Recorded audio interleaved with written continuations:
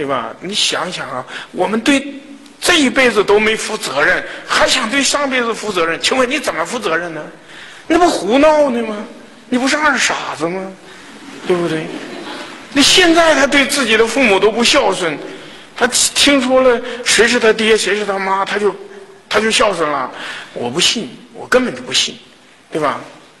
我们把现在的父母啊孝顺好了，那也等于是对过去的父母一种负责。你对过去的父母，你连影都摸不着，你怎么孝顺？对吧？更何况过去的姻缘都散了，散了还能再聚吗？不可能了。对吧？再聚也不是原来的吗？对吧？你要清楚啊，对吧？所以说，佛告诉我们的是，我们这是佛法呀，是我们最近的这七尊佛算起，原来那个我不说了，对吧？所以这才是让大家觉得比较可靠，也比较相信呢，对吧？你说太远了，谁信呢？对吧？那么。在过去的庄严节里，有一千位佛出世，第九百九十八尊佛就叫毗婆尸佛。毗婆尸，不论他意为观呃圣观，或者种种观，或者圣剑，或者种种剑，总而言之，都是一尊佛的名字。对吧？我们要记得毗婆尸佛就好了。我们诵戒的时候也要诵这七佛的名字，对吧？第二尊佛是湿气佛，湿气佛是九百九十九尊佛，呃，是庄严节的第九百九十九尊佛，对吧？那么。这尊佛也叫火佛，是庄严节的第九百九十九尊佛。第一千尊佛就是毗舍浮佛，这是庄严节的最后一尊佛。庄严节完事之后就是贤节，对吧？那么今贤节，现在这个节就叫做贤节，因为在这个节里。也有很多佛出世，对吧？那贤姐就有很多贤圣出世，有佛嘛，对吧？那么贤姐也有千佛出世，第一尊佛就是居留孙佛，对吧？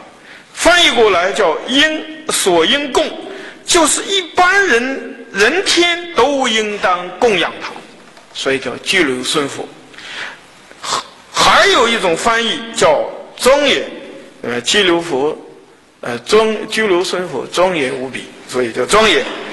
那么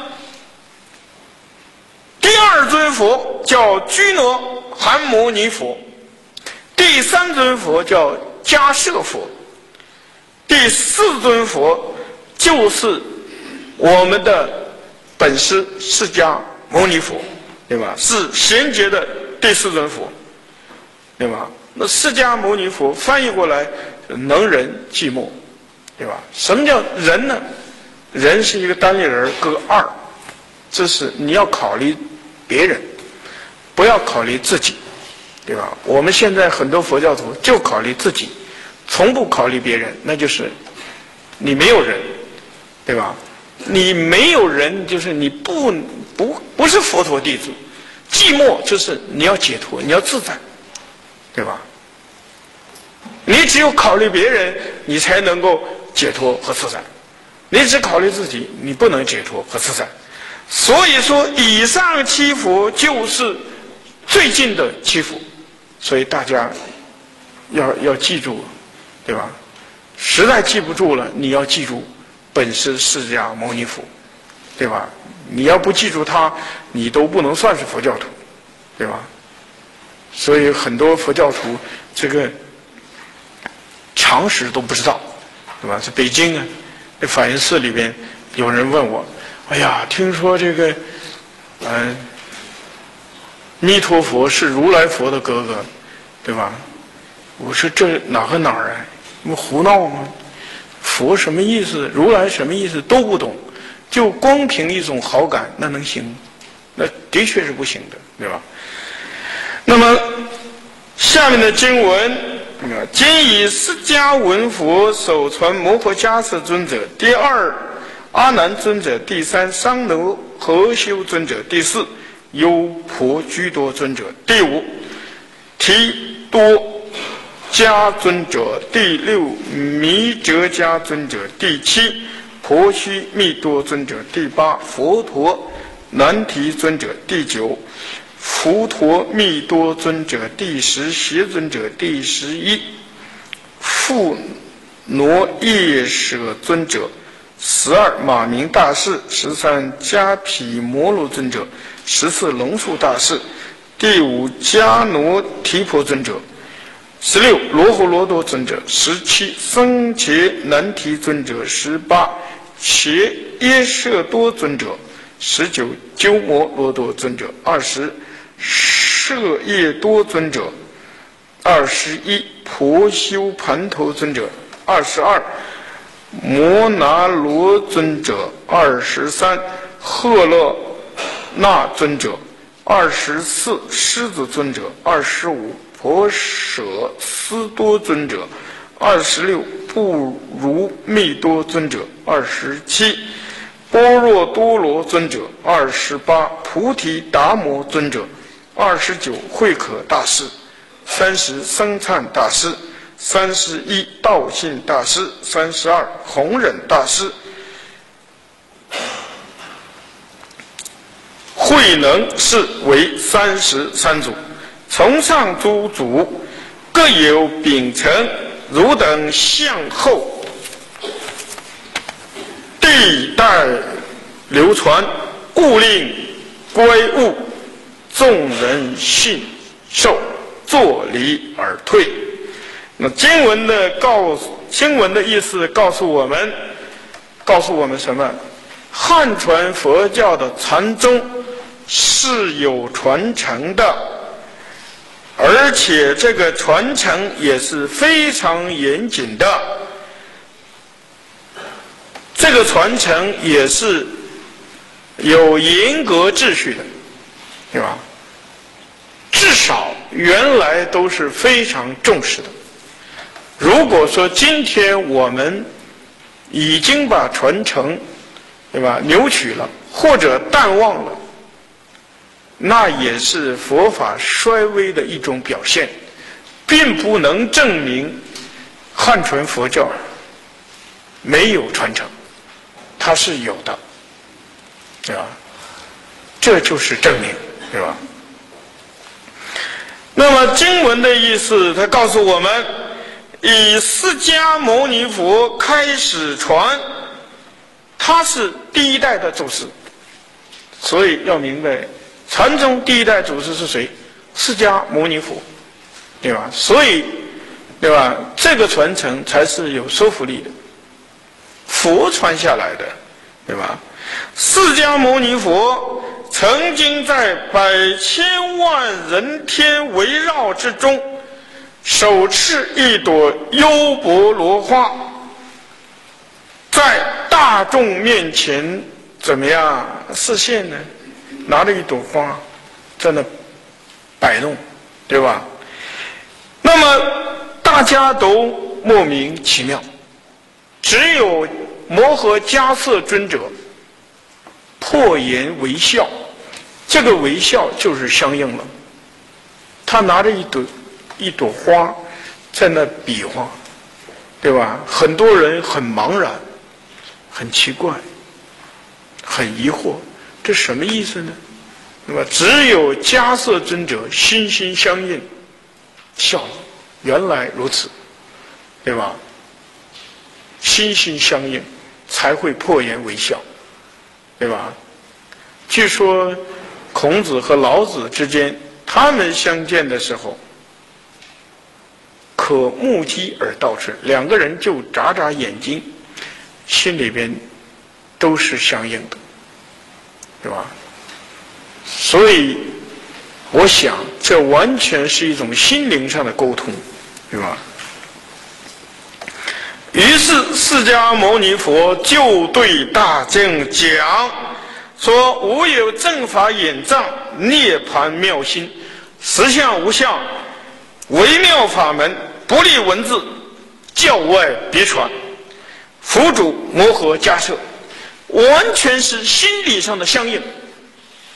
那就是般若波罗蜜，完全是关照般若，对吧？我当然不排斥文字般若，不排斥认识实相、认识真理的这样的一个过程。但是这个过程的拉近需要关照，就是教外别传，佛主磨合加设，对吧？那有权威啊，不是空穴来风啊，对吧？现在很多人对禅宗去指责。这个指责是没有道理的，只要有缘，你不要去说他什么，对吧？我上次讲释迦牟尼佛在世的时候，他就是坐禅的，没有什么话讲，对吧？我们今天上功课，那是后来呢，对吧？我们很多人是根本坐不住啊，能坐住的人，那肯定是有定力，也有智慧嘛，对吧？也有感应啊，对吧？所以说，这个传承是有说服力的。就是说，我已经将心印心的法门传给摩诃迦摄尊者了，所以摩诃迦摄是初祖，对吧？当然，他按顺序来讲是第二代祖师，对吧？那么，他的传承完全来自于释迦牟尼佛的，对吧？那佛传了。各种各样的法门，所以呢，佛不算第一代，但是从那的源头是从那来的，对吧？所以摩诃迦是属于第一代。那么第二代阿难尊者，迦氏祖师传给第二代祖师是阿难尊者，阿难尊者是佛的弟弟，对吧？佛成道日他出生的，他博闻强记。那么，但是我要告诉大家，在经典里曾经啊有这样的记载，就是佛陀涅盘的时候，阿难还没有证得阿罗汉果，所以呢，五百结集的时候，结集佛教的三藏的时候，经经藏、律藏、论藏，那个时候他还不够资格，迦叶尊者不要他，只有四百九十九位罗汉。对吧？那他是很郁闷的，那个捣鼓啊，他不平衡嘛，对吧？在自己的那个阿能诺里边，也是半夜了，呃对吧？要躺没有躺之间，忽然间就开悟了，于是他就参与了五百结局，就是这位阿难尊者，对吧？也曾经是佛陀的侍者。长得非常的漂亮，佛有三十二相，他有三十相，对吧？那么大家要记住，这个是佛陀的，呃，告诉我们的禅宗的第二代祖师。那么第三代祖师三罗和修尊者，这一位尊者一生出来很奇怪，对吧？生出来就怎么样？穿了一件衣服，对吧？这个尊者长呢，那个衣服也长，对吧？随着是尊者尊者的身体的长大而长大，对吧？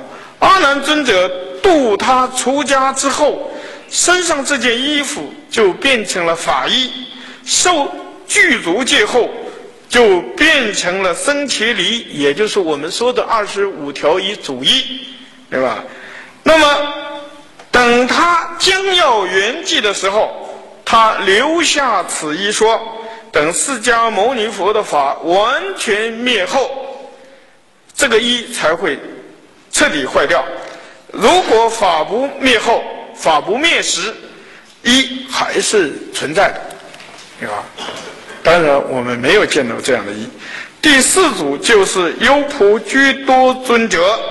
第五组是提多迦尊者，第六组是弥哲迦尊者，第七组是婆须弥多尊者，第八组佛陀难提尊者，第九组是佛陀密多尊者，这都是一代一代的传承下来的，对吧？所以我们就不多讲，要多讲，那大概还得去找一些相关资料给大家一个交代。大家记着这个祖师的传承就好了，对吧？第十代祖师是邪尊者，对吧？这个比较著名的，我们要交代一下。这位祖师是很奇怪的，他怎么样奇怪呢？他在自己母亲的肚子里呀，对吧？住了七十二呃，住了六十二年呢，对吧？这这个就就很奇怪了，对吧？他出生的时候呢，头发已经白了，在母亲肚子里老的，对吧？那么胡子也白了，他生出来之后。那就喜欢修道嘛，有有缘嘛，对吧？就像，我就出家了，你就没有出家，这是什么？这缘分吗？对吧？这就是缘分，对吧？为什么缘分？那佛缘嘛，对吧？如果我们不珍惜，那不也是浪费吗？不要因为佛缘而骄傲，也不要因为你没有佛缘而自卑，对吧？那么邪尊者就是有缘喜欢修道。以后遇到第九代祖师佛陀密多尊者，就跟九祖出家，九祖就把佛的心印法门传给了他，传给了邪尊者。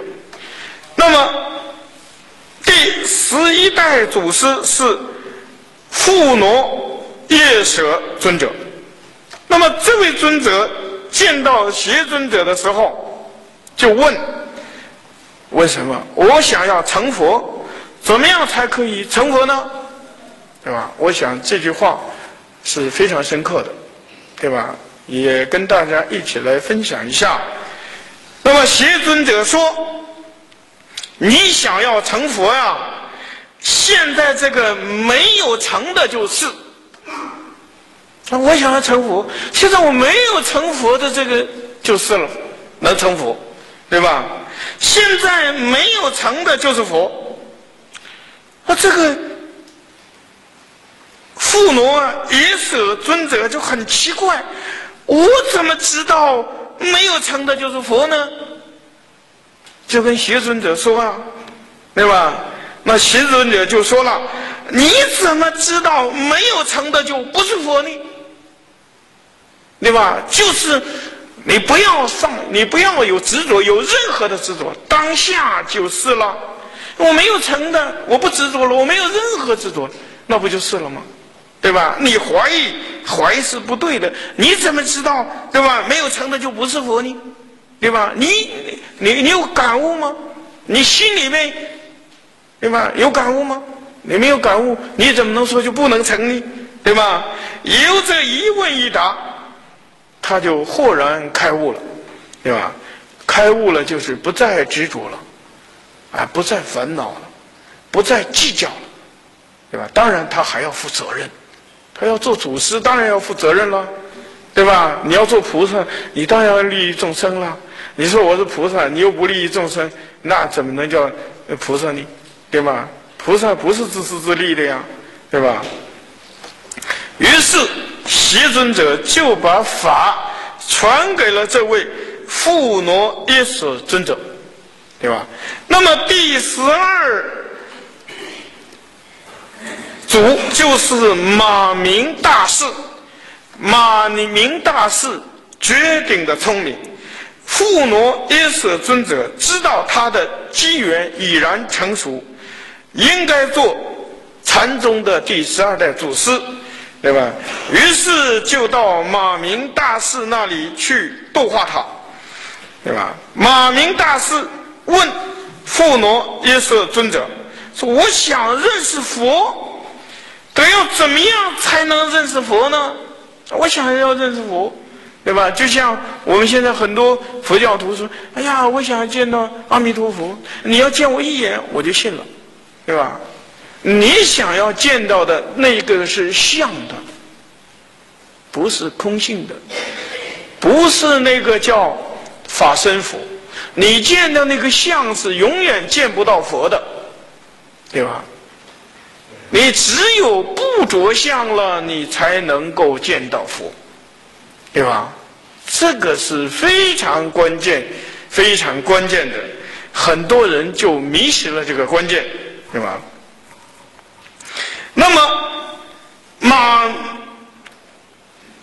这个富罗一色尊者就告诉他说：“你想认识佛呀？”你不认识的，这就是佛。为什么你不认识？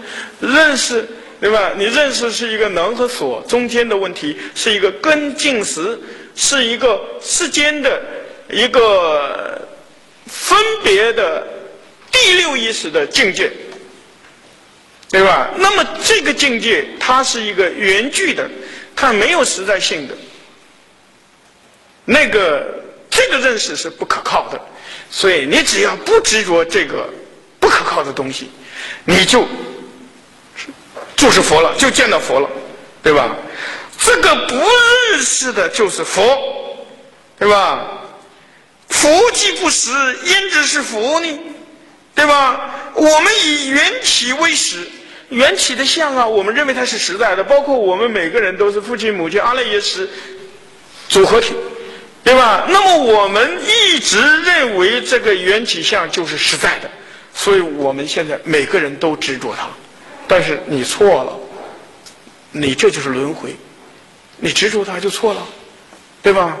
但是你不执着它，有人很茫然，对吧？所以你以着这个缘起相为实在的、为实有的，你就是执着，你就是轮回，对吧？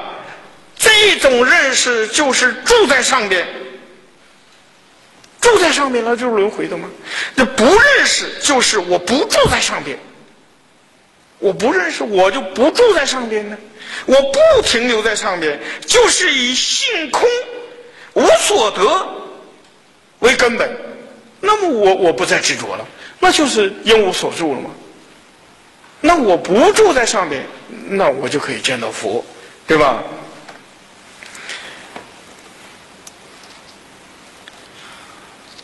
那么，所你说这个不认识的就是佛，佛既不认识，因知他是佛呢？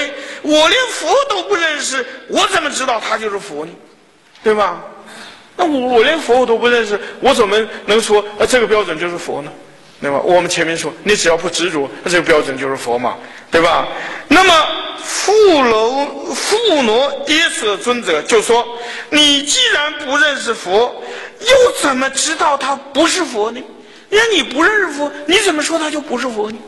因为你不认识啊，可能你当面就会错过。我们不认识的，往往不就是无所得吗？对吧？我们认识的，往往都是自以为是吗？对吧？这和邪尊者对他的教化是差不多的意思，对吧？接着马明大师就说：“哦，此是句意，句就是拿句那个句意。”这是你这拿过来拿过去，对吧？没有意思了，对吧？那我说这样，你说那样，这不是拿锯吗？对吧？就好像一个锯一样，来回这么锯。我说这样，你说那样，这么来回，不就是一个锯的意思吗？来回拿锯玩吗？对吧？那么富罗耶色尊者就说：“哦。”彼是木艺，是，你说是锯，我说是木头啊。我说的不是，呃，不是锯。我告诉你，我说的是锯，呃，是木艺，对吧？他又问马明大师，嗯，那你的锯意是什么意思？你那个拉锯那个意思是什么意思呢？对吧？你拉过来，我拉过去；你拉过来，我拉过去，咱们俩一样啊。锯不就来回拉锯吗？对吧？那么。马明大师又反过来问：“问什么？”富罗耶色尊者说：“说那你的木头的意思是什么意思？对吧？”那么富罗耶色就说：“说我木头的这木头的意思就是，我把你这个木头锯开了。啊，木头的意思，我把你这个木头锯开了，一锯两半吗？对吧？锯就是锯木头的。”就这么一讲，马明大师豁然开朗，对吧？原来他不服啊，说我跟你一样啊，锯来锯去。现在你是木头，我锯你了，我把你锯开了，啊，一下哦，一下豁然开朗，对吧？为什么豁然开朗？这我不让你，对吧？我不让你再执着了吗？对吧？你原来钻牛角尖，我现在现在给你锯开了吗？对吧？你一下子就分别心就打破了吗？对吧？那么，即使，呃，剃度出家，马上就剃剃头，马上就出家，对吧？因为他认识真理了，这是非常重要的。那么，十一祖富挪约瑟就传给马明大士，对吧？法成为禅宗第十二代祖师，对吧？怎么叫马明大师呢？对吧？马明大师，他善于说法，他一说法，马都失明。他一说法，马居然能够能够回应，马都会叫，对吧？通通都悲鸣，对吧？那么书上说恶马悲鸣，这不一定是恶，其实是宝马，对吧？什么叫宝马？对吧？宝马通人性啊，它通懂人的话呀，所以它它能够悲鸣啊，对吧？那么他一说法叫马叫，马就会叫，因为有这样的感应，所以他叫马鸣大士。他不仅仅能教化人，而且还能教化教化什么？教化马，对吧？但是我想啊，马都比较容易能教化。最难教化的，往往还就是人，人最难教化，对吧？你说了半天，他不一定，他表面上点头说是好，掉过头来就不是，也不好了，对吧？这是经常会有，对吧？那么大士就是菩萨的另一种称呼，也就是马明菩萨，是吧？我们前面有交代说，大士就是你证的阿毗。